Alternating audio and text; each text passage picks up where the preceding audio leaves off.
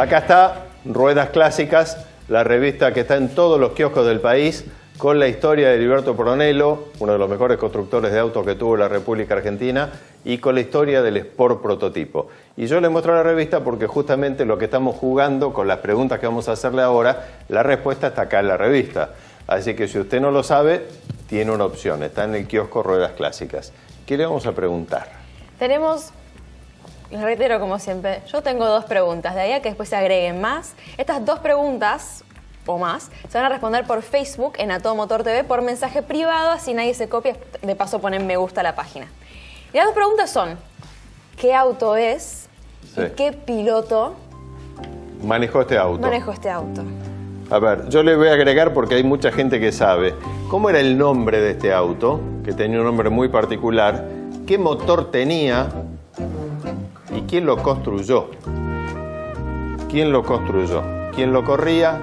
¿Qué motor tenía? ¿Qué nombre tenía este auto? ¿Y qué marca de motor tenía? La parrilla es una ayuda. La parrilla es una ayuda, cierto. ¿Eh? Así es. La parrilla es una ayuda. Y si no, la ayuda está en Ruedas Clásicas que está ahí. De paso les recuerdo que en octubre está Autoclásica en el hipódromo de San Isidro. Autoclásica, la mejor y la mayor exposición de autos clásicos y sport de la República Argentina y yo le diría que de Latinoamérica completa. En octubre, el fin de semana largo, 11, 12 y 13 de octubre, ahí está Autoclásica en San Isidro.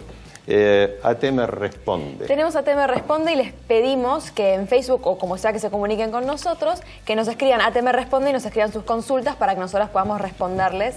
Y hoy tenemos dos preguntas. La primera es de Miguel Merlos, que quiere saber si los airbags tienen algún tipo de mantenimiento. Él tiene un SEAT modelo 1999. Miguel, opinión personal, ahora después te van a contestar los chicos.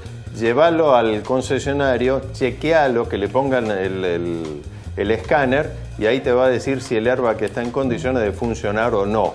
Mantenimiento no tiene, es un, es un tema electrónico, así que mantenimiento ninguno. Eh, llévalo a la concesionaria y ahí te lo chequean, si está todo en orden, estará todo en orden. Lo que sí, el airbag no se puede utilizar más una vez que explotó. No, por una supuesto. vez que fue utilizado, ese airbag hay que removerlo y cambiarlo por uno nuevo. A ver, si, si el auto tuvo un choque y funcionaron las bolsas de aire, quédate tranquilo que el tablero también quedó medio knockout también, ¿no? ¿Eh? ¿Qué más? La segunda es de Diego Tano, que quiere saber quién fue el piloto más espectacular de la historia de WRC según ustedes. Uy, ¿y ahora? Y bueno, Mira. yo puedo contar de lo que vi yo. A ver, Decí vos si querés ver mi Sigue la primero. pero- historia, mirá vos. Yo mirando imágenes creo que Walter Roll con el Audi 4 para mí ha sido insuperable. Grupo B, ¿no?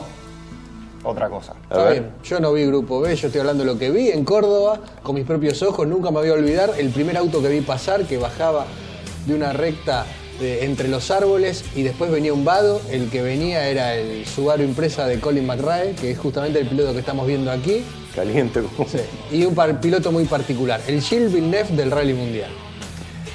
A ver, yo voy a tirar una idea. Ari Batanen me parece que fue un tipo extraordinario también, pero coincido con el, con el ruso, me parece que este Colin McRae hacía cosas demenciales arriba de un auto. ¿Sí? Sí.